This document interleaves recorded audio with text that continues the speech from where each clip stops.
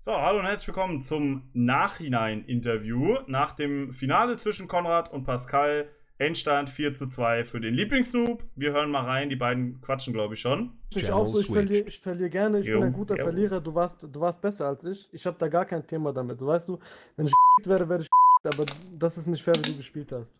Das tut mir leid. Ist voll meine Meinung, ja, brauchst du auch gar nicht zu entschuldigen. Ich, ich lasse mich lieber von einem ESL-Profi fünfmal durch den K.O. in den Arsch als, als von, von so einer unsportlichen Scheiß, was du ab, abziehst, ehrlich. Ja, das tut mir leid. Ja, brauchst du nicht entschuldigen. Weißt du, was du für ein Problem für, mit, äh, mit mir hast oder ob du vielleicht selber ein Problem hast, keine Ahnung. Aber das ist, ja, kann, kann ja sein, dass du irgendwie es nötig hast, Menschen zu provozieren in einem Spaßturnier. Nein, niemals. Ja, genau.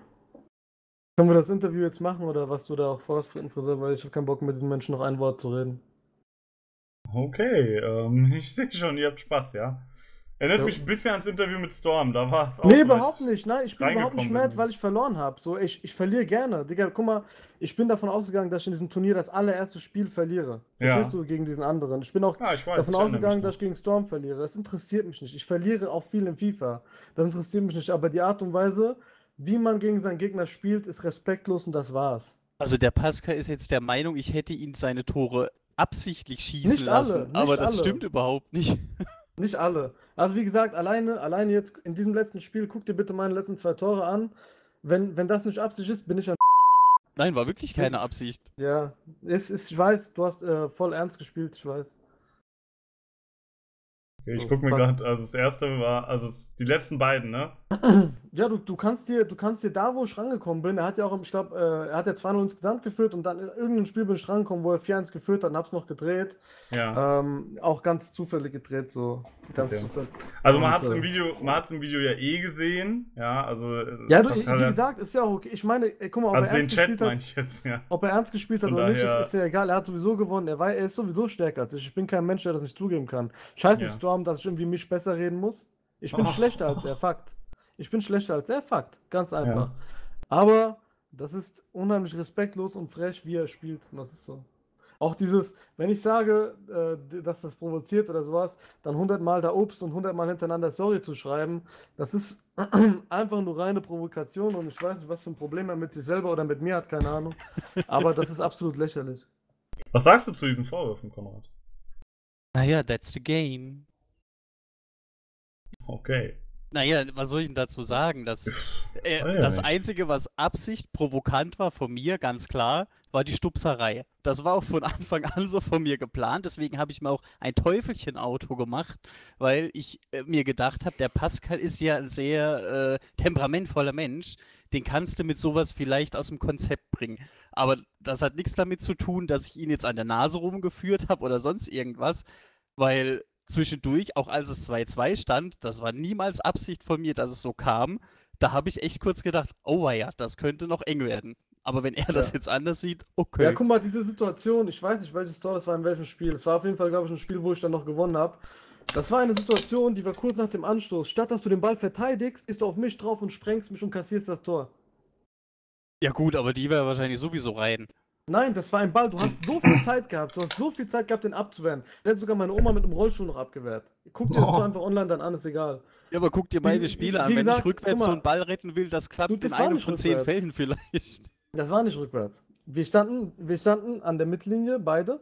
Und ich bin rechts gefahren, äh, von meiner Sicht, nach rechts gefahren auf den, auf den äh, Boost. Und statt dass du den Ball rettest, bist du mir hinterhergefahren und wolltest mich einfach nur umschmeißen. So. Das sind so Sachen, ich, guck mal, ich, ich verstehe nicht, warum man das machen muss. Das ist für mich nicht fair. Äh, Das Spiel erlaubt es, aber es ist für mich, ich, ich mach das nicht. Wenn du vorm Tor bist und das Tor schießen kannst, ich spreng dich nicht um. Aber du machst, ist okay, ist deine Spielweise, mag sein. Aber wie gesagt, GG an dich, du, du warst sowieso der bessere Spieler. Ich bin kein Opfer irgendwie, der sagen muss, ich war besser, hast nur Glück gehabt oder sonst was. Aber überleg einfach mal deine Spielweise ein bisschen und denk ein bisschen nach. So, ich gönne dir den Sieg. Du hättest sowieso gewonnen, ob du mich rankommen lassen hast oder nicht. Ist egal, es hätte auch 4-0 ausgehen können, es hätte 4-1 ausgehen können, es hätte auch 4-3 ausgehen können, ist egal. Fakt ist, du warst besser, du hast mich hochgenommen, gutes Ende. Herzlichen Glückwunsch. Dankeschön. Okay. Kannst du zum. Storm gehen und dich freuen und sagen, du hast mich, mich provoziert. Also ist dein Plan komplett aufgegangen. Super. Okay. Ähm, gut. Ja, so war es nicht gedacht, äh, dass, dass wir hier, weiß ich nicht, gefühlt äh, das letzte Interview in einem Gerichtssaal sitzen. Ja, du musst das auch nicht reinschneiden. Wir können jetzt auch noch mal ganz neu einfach simpel aufnehmen. Nein, das ist ja, GG, ist ja völlig okay. Das sind halt die. Emotionen, die Das durch sind, dieses das sind Spiel. keine Emotionen, nein. Ja doch, das ist ja jetzt deine Meinung zum Das Spiel. ist wie und bei das einem ja Interview direkt okay. nach einem Fußballspiel. Genau. Nein, guck mal, da das- sage ich das- da auch das- nicht zum Spieler, so jetzt beruhigen wir uns kurz, trinken einen Tee und dann sagen sie mir nochmal das Richtige. Mal, ist das, halt geht mir so, schon seit okay. dem, das geht mir schon seit dem 2-1 durch den Kopf. So. Seit dem Spiel habe ich abgeschaltet. Ja, aber warum? Digga, weil, guck mal, ich, guck mal, ich bin nicht behindert. Ich merke doch, ich merke doch, dass du mich rankommen lässt. Ich merke das doch, Alter. Ich merke das, Mann. Das Wenn war du, aber nicht so, wenn ich es dir doch sage. den Spieß um und ich schwöre, du merkst das. Wenn du der schlechtere Spieler bist, gegen einen und, Digga, du bist viel besser als ich. Im 1 gegen 1 viel, viel besser. Also ich kann dir sagen, was mir durch den Kopf ging nach, nach äh, ein paar Spielen, dass du verdammt gut auf meine Spielweise eingestellt bist, weil du im Mittelfeld alles zugemacht hast. Das sieht man auch im Spiel. Ich konnte nie meine typischen Spielzüge aufbauen, wie ich Das sie eigentlich mache. ja. Ja, deswegen Ja, brauchst du jetzt ich. nicht sagen, ich wäre jetzt irgendwie hier, Also hätte mit dir gespielt. Konrad Ich hatte, greift an Dribblings, Ja. die gab es nicht einmal. Das ich Ja, hatte richtig, ich hatte richtig zu kämpfen mit der Art, wie du gegen mich gespielt hast. Deswegen ist das Blödsinn, was du sagst. Nee, wie gesagt, ist deine Meinung, ich habe eine andere Meinung. Und auch in-game die Sachen, das ist einfach, ich guck mal, das ist ein Turnier, hier geht es nicht um Geld, hier geht es einfach nur um Spaß. Und Ich Richtig. verstehe, guck mal, ich verstehe nicht, Dann warum lass du uns doch Spaß haben. Ja, aber guck mal, okay, wir haben Spaß. Warum von vornherein willst du mich provozieren? Was ist dein Ziel? Wa warum machst du das? Guck mal, du weißt, wie ich bin. Du weißt, wie ich bin. Du weißt, ich habe Temperament. Warum, warum kannst du nicht einfach fair, freundlich gegen mich spielen? Warum musst du mich Warum willst du von vornherein mich abfacken? Warum? Wenn Weil, es um weil Spaß du geht. sonst gewinnst. Das, das hat damit zu tun, Digga, du weißt, dass du besser bist. Digga, du weißt, dass du besser bist und du hättest gegen mich auch gewonnen. Ich will nicht sagen, dass du unfair gespielt hast, Gottes Willen. Du hast fair gespielt, das darf man ja in Rocket League machen. Man darf ja seine Gegner abfacken, man kann auch seine Gegner im Chat beleidigen, man kann ja alles machen, ist kein Problem. Nur ich, ich, guck mal, das, das ist, guck mal, das, das ist jetzt auch ein Grund, warum ich in den nächsten Turnieren, wenn er mich fragt, ich werde nicht mitspielen. Weil für mich geht es hier um Spaß. Nach dem Halbfinale, diese Diskussion mit Storm hat mich schon mega abgefuckt, weil ich habe nicht gesagt, dass ich besser bin. Ich habe nicht gesagt, dass ich besser bin. Ich habe auch nicht gesagt, dass ich der Größte bin. Ich mache meine Scherze, wie ich vor dem Spiel gesagt habe, ich gewinne gegen dich 4-1. Das ist Scherz und das habe ich auch gesagt. So, da fing das für mich schon an, dass man, dass Leute das zu krass ernst nehmen. So, Ja, aber deswegen jetzt- dachte ich, kannst du so Späßchen auch ab, wenn wir nein, so uns ja, rumschubsen im Späßchen, Spiel na- oder nein, irgendwie. Nein, aber das, das, ist, das ist Provoziererei. So, guck mal, ich, ich bin vorm Tor, das Ding ist eigentlich drinne und du sprengst mich einfach weg. Ich würde das gegen, gegenüber dir, ich würde das nicht machen. Sag ich dir, wie es ist. Ich würde das nicht machen. Das hätte ich Würde aber ich gegen jeden anderen auch so gemacht, ganz ehrlich. Ja, aber für mich ist das einfach nur Provokation und das, wie gesagt, aber es, wie gesagt, es ist deine Spielweise, es ist auch in Ordnung. Nur, wie gesagt, ihr könnt euch ja die Sachen in YouTube nochmal angucken, das ist kein Problem. Aber ähm, ich finde, das war, ich weiß nicht, kein Spaß, sondern das war. Also mir, hat, mir, hat das, mir hat das Finale, also mir hat das Halbfinale gegen Storm Spaß gemacht und gegen den anderen auch nicht, weil ich gewonnen habe, sondern weil die Spieler einfach cool waren und fair waren und ge gegen dich hat es mir von Sekunde 1, mir, mir war klar, dass es gegen dich schwerer wird als gegen die anderen, weil du äh, sehr, sehr gut dribbeln kannst und ich mein, mein Spiel nicht spielen kann, weil ich weiß einfach, ich kann dich nicht angreifen lassen, ich bin ja nicht dumm.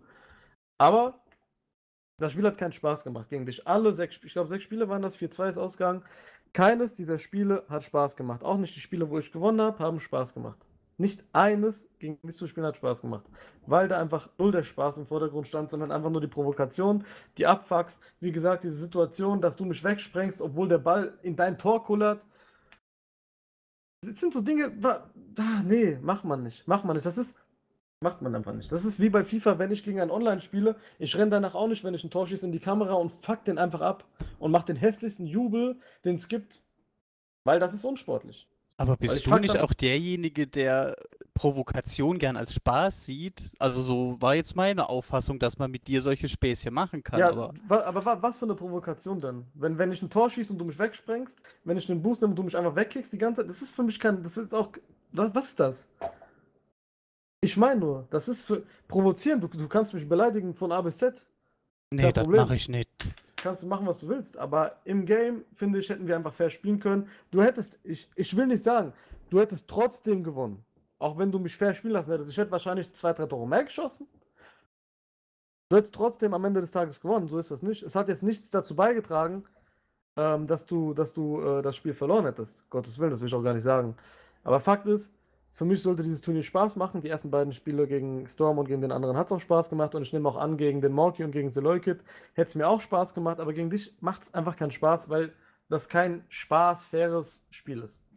So. Ist einfach so. Und keine Ahnung, ich habe für mich nach dem 2-1-Sieg von mir, beziehungsweise nach dem, nach dem 2-0, ich habe nicht aufgegeben, weil Rocket League ist verrückt. Aber ähm, ich war schon in meinem Modus, zu überlegen, was ich im Interview danach sage. Weil mir so vieles einfach aufgefallen ist, dass du nur provozierst. So, so die, diese Provokation mit der Pause machen von vor dem Spiel, das nehme ich gerne auf. Ich verstehe zwar nicht, warum man sich da einen Spaß drüber macht. Verstehe ich wirklich nicht. Aber das ist eure Sache so, könnt ihr euch als Gag nehmen oder was auch immer, ist okay. Diese Provokation habe ich nicht ernst genommen, ist auch okay. Könnt ihr euren Spaß machen. Aber in sind halt einfach Dinge so, die gehen halt einfach für mich nicht klar. Und ich weiß auch nicht, warum man das mit der Pause äh, bespaßen muss, weil das ist mein absoluter Ernst. So.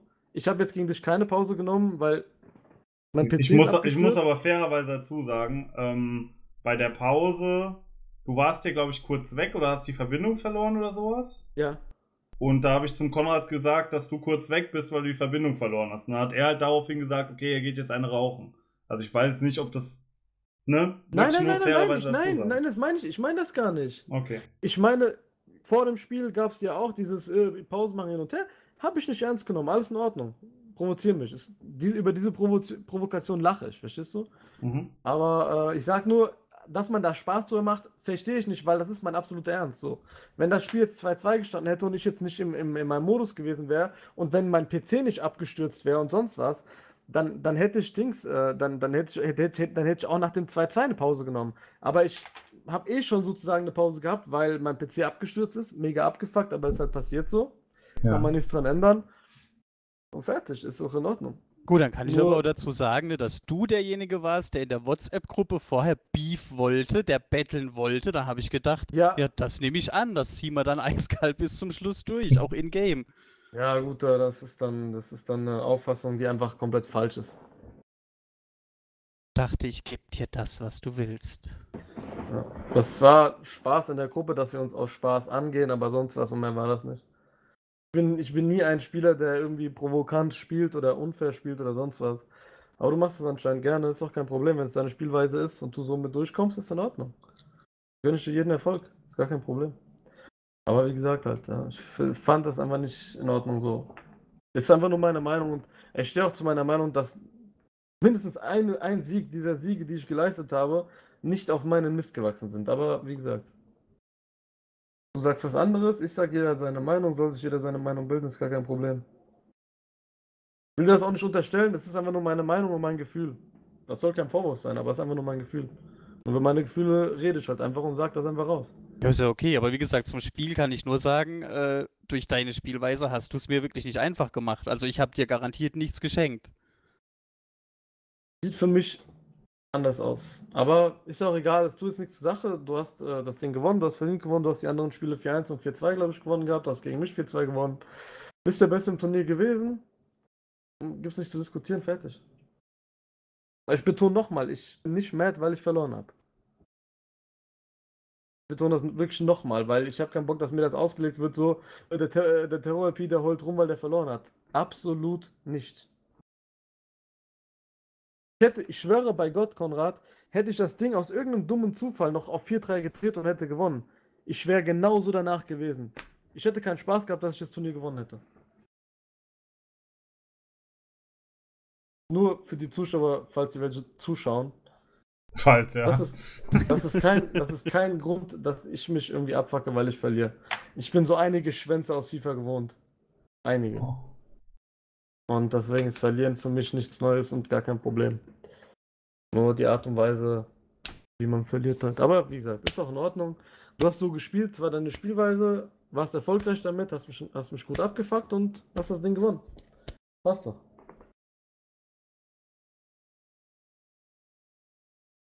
Okay. Ansonsten gibt es nichts mehr zu sagen.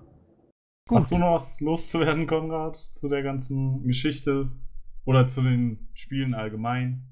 Ja, zum Turnier allgemein. Einfach Ja. ein Danke an dich, dass du dir die Arbeit wieder gemacht hast. Es macht auch immer wieder Spaß, sich das Ganze auch anzugucken, auch die ganzen anderen Spiele. Dankeschön. Ja, Ja, hat mir auch Spaß gemacht. War mal wieder sehr lange her das letzte Mal. Ich glaube, wann war das letzte Mal? 2016 oder sowas? Keine Ahnung.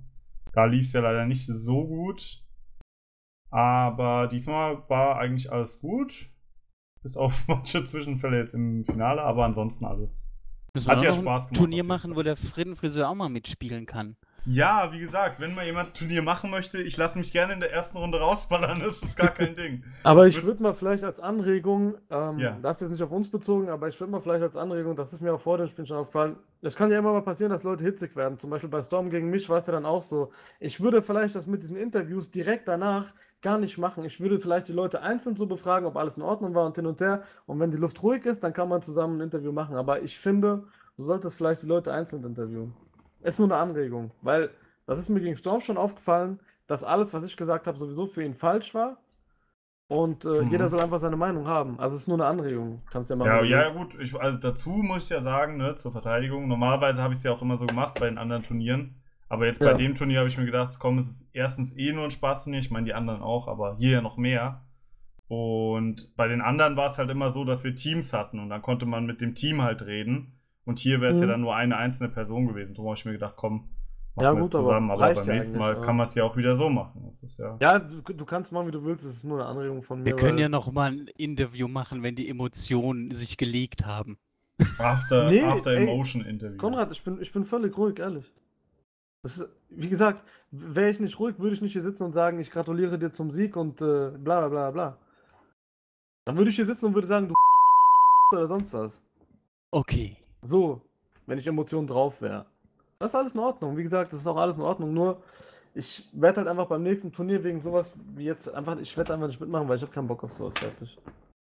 Aber um sowas in der Zukunft einfach zu vermeiden, damit Frittenfriseur seine Turniere auch spaßig weitergehen und ohne dass sich Leute gegenseitig abfacken, ist einfach die Anregung, dass er einfach die Interviews mit den einzelnen Personen führt und das war's, weil Ja. dann entsteht sowas Ja. gar nicht, weil dann sage ich ihm meine Meinung, du sagst ihm deine Meinung. Dann, also was heißt deine Meinung? Er fragt dich, du gibst die Antworten, er fragt mich, ich gebe meine Antworten und dann kann er das zusammenschneiden und dann können die Zuschauer sich ja ihre Meinung bilden. So. Gut, so ist natürlich für mich die entspannte Position. Ich muss nur auf den Aufnahmeknopf drücken, join in den Raum und das Gespräch läuft von selbst. Ja, aber es An ist ja nicht Sinn der Sache, dass sich Leute gegenseitig abfacken. Nein, ja aber sein. es war ja auch, wie gesagt, also im ganzen Turnier war es eigentlich auch nie der Fall, halt außer so teilweise bei Storm und dir und halt heute so ein bisschen. Aber ansonsten war ja, Ja, auch alles das immer wohl gechillt. liegt? Hm. Ja. Kannst du dir sparen, Konrad? Digga, einfach Sorry. spar, spar dir das. Spar dir das einfach ehrlich, Junge. Weil gleich hast du mich, Alter. Ohne Witz, spar dir das. Ah. Weil das, Gut. das ist mit Storm, das ist nicht von mir ausgegangen. Das stimmt, ja. Also Gut. einfach mal das- den Mund halten, wenn man keinen Plan hat, ehrlich. Ich würde sagen, Ich ähm, einen schönen wir Abend. werden. Buddy disconnected from okay, your tschüss. channel. Tschüss. Wir werden niemals herausfinden, ob Konrad jetzt ihn absichtlich hat gewinnen lassen oder nicht. Ähm, ich weiß nicht. Ich bin da jetzt mal ganz neutral. Ihr könnt ja gerne in die Kommentare schreiben, was eure Meinung ist. Hat Konrad den lieben Pascal teilweise gewinnen lassen oder nicht? Oder hat Pascal vielleicht am Ende sogar Konrad gewinnen, was weiß ich. Ja, so, jetzt machen wir noch ein Einzinterview, wie das Pascal wollte. oder so. Äh, ja. Glückwunsch zum Sieg. Ich wollte eigentlich Pascal auch noch zu, äh, beglückwünschen hier, dass er so weit gekommen ist. Hatte ich jetzt leider nicht mehr die Möglichkeit dazu. Aber ja, falls du das schade. hier Wie gucken gesagt, ich, wolltest- also, ja, also ich habe mir ja auch schon ab dem zweiten Spiel Gedanken gemacht, was ich im Interview danach sage. Und wie gesagt, mir ist aufgefallen, dass er gut auf meine Spielweise eingestellt war, dass er mir mich mein Spiel auch überhaupt nicht spielen lassen hat. Äh, aber ich kam jetzt ja nicht wirklich dazu, ihn irgendwie positiv zu beglückwünschen für irgendwas. Leider. Na gut.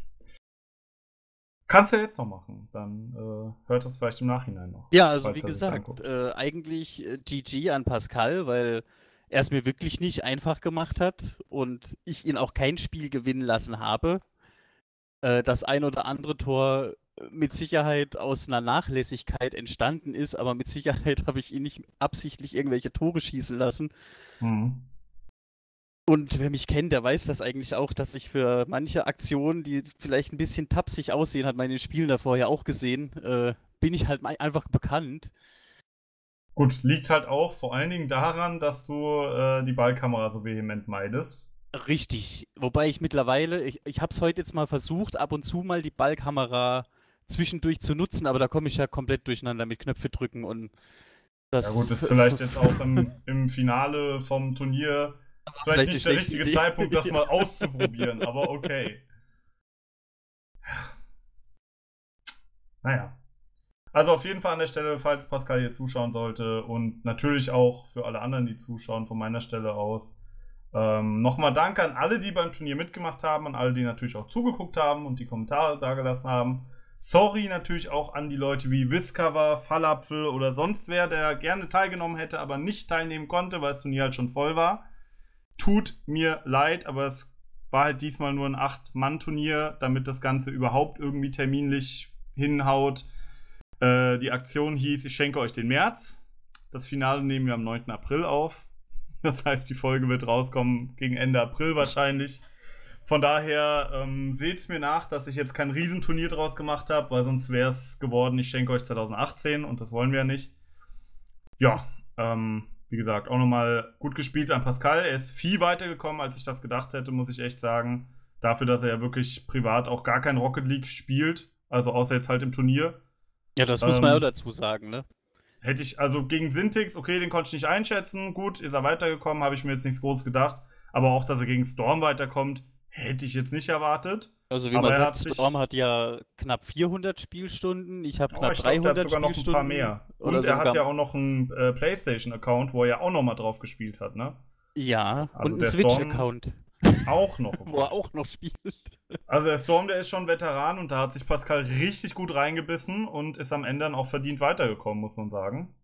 Und ja, Schade, dass deine Taktik heute so gut aufging mit dem Nerven. Das, äh, war nee, das war mehr, das war echt. Äh, wenn ich gewusst hätte, dass er so reagiert im Nachhinein, hätte ich das bestimmt nicht so gemacht. Mhm. Nur ich bin davon ausgegangen, weil er im Vorfeld schon so ein bisschen Beef Battle überhaupt. Deswegen sieht man ja auch, ich habe mein Auto ja extra als Teufelchen gemacht. Normal habe ich ja immer Herzchen und so. Ja, stimmt. Äh, gut, wenn ich gewusst hätte, dass das stimmungsmäßig so in die Hose geht, hätte ich es natürlich gesteckt, ne? Ja, gut. Naja, aber das, das aber... weiß man ja vorher nicht immer. Tut mir leid an der Stelle. okay, ja, so ist es halt jetzt. Mein Gott. Was willst du machen? Steckst du nicht drin. Aber natürlich am Ende dieses Turniers auch nochmal an dich. Großen Glückwunsch. Turnierteilnehmer der ersten Stunde. Warst ja bei allen Turnieren mit dabei, die ich bis jetzt organisiert habe. Waren ja nicht so viele. Bei allen bisher kläglich versagt. bisher kläglich versagt. Und jetzt äh, im 1 gegen 1 Turnier hast du mal gezeigt, was du kannst. Ja, das ist mal schön. Das glaube ich dir, ja.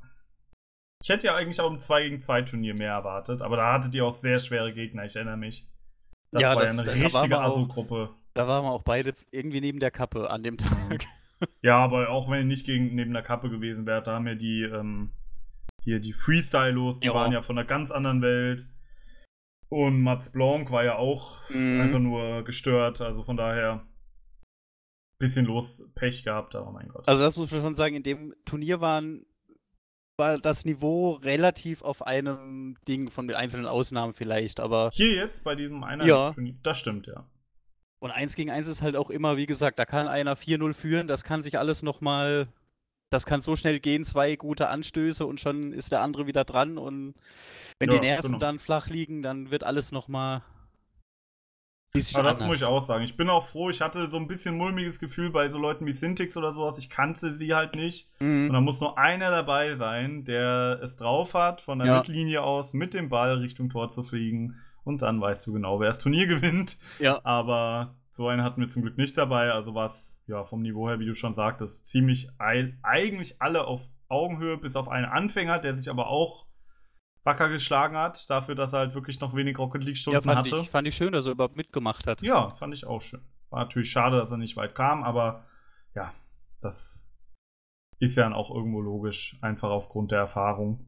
Ja, und wie gesagt, wie du jetzt auch immer sagst, oder Pascal, dass ich da ja so der Überdribbler wäre und überhaupt, ähm, das hat in dem Turnier jetzt vielleicht gepasst, aber ich spiele Rocket League ja auch so eins gegen eins und da ist meine Gewinnquote von drei Spielen gewinne ich vielleicht eins, ne? Also mhm. so auf, auf meinem Liga-Level und äh, da gibt's genug, die mich einfach so in die Tasche stecken, weil so doll bin ich dann auch wieder nicht. Ja, klar. Verstehe ich. Wie gesagt, das hätte sich hier auch irgendein Skinsy oder ein Mats Blanc anmelden Ja, können. dann, und dann hätten wir alle in die Wäsche geguckt. sehe die Sache vielleicht auch schon anders aus. Von daher war es ein cooles Turnier, war spaßig, jedes Spiel war spannend und man wusste nie, wie es ausgeht. Und ähm, ich fand es halt, wie gesagt, am aller, allerschönsten, dass die Leute, die schon mal bei mindestens einem Turnier dabei gewesen sind, nämlich du, Storm, Seloykit und auch Pascal, dass die wenigstens die Möglichkeit hatten, mal ins Halbfinale zu kommen oder sogar ins Finale. Und ähm, von daher war das auch nochmal da so ein, so ein, ja, wie soll man sagen, so ein kleines inoffizielles Dankeschön praktisch auch, dass ihr da immer mit dabei seid. Ja, Ja, hat auch richtig Spaß gemacht. genau. Also wie gesagt, auch ich, es läuft ja noch auf deinem YouTube-Kanal aktuell heute. Äh, macht auch echt Spaß, sich die Spiele anzugucken und dein Commentary dazu und ja, schade, dass du das Ergebnis jetzt schon kennst. ja. Aber jetzt kennen es ja auch alle. Wenn sie die Folge sehen, ja, aber am 9. April noch nicht. Ja, das stimmt wohl. Tja. Naja. Okay, also wie gesagt, Glückwunsch an dich. Dankeschön. Verdienter Sieg, würde ich sagen, im Endeffekt. Und ja, hast du noch irgendwas Abschließendes zu sagen? Ja, abonniert Frittenfriseur LPS und äh, bleibt weiter bei ihm an der Stange. Unterstützt ihn bei dem, was er da tut, auf YouTube. Und auf Patreon? Und genau. Und äh, vielleicht wird mein Kanal auch bald wieder ein bisschen aktiviert. ui, ui, ui, ui, ui. Aber ich will da nicht zu Oh. viel versprechen. Naja, hast du jetzt noch ein paar Tage Zeit, bis die Folge rauskommt. Äh, Ja, bis dahin bin ich ja schon umgezogen in andere Räumlichkeiten und dann Dann hat man auch wieder eher Forest. eine Option. Pascal und Ah, Henna. ich, ich, ich weiß es noch nicht. Ich muss mir da mal was überlegen, aber Alles klar. mein YouTube-Kanal ist nicht tot. Er ist nur auf Pause. Er schläft. Er schläft nur ein bisschen im Dornröschenschlaf. Ich verstehe. Okay, ich wollte noch irgendwas Lustiges sagen, aber ich habe es jetzt vergessen, von daher ist auch egal. Das tut mir leid. Aber macht ja nichts. Ja. Gut, dann würde ich sagen, war es auch von meiner Stelle. Danke fürs Zuschauen, danke fürs Dabeisein an alle, die mitgewirkt haben und so. Und dann bis zum nächsten Turnier, wann auch immer das sein wird. Ich habe keine Ahnung. Ja, aber ich denke mal, es wird irgendwann wieder eins geben. Ja, hoffentlich. Ja, mit viel Rucklern. Ich hatte gerade eben auch wieder Ruckler. Naja. Oh, Aber nur wenige ging diesmal.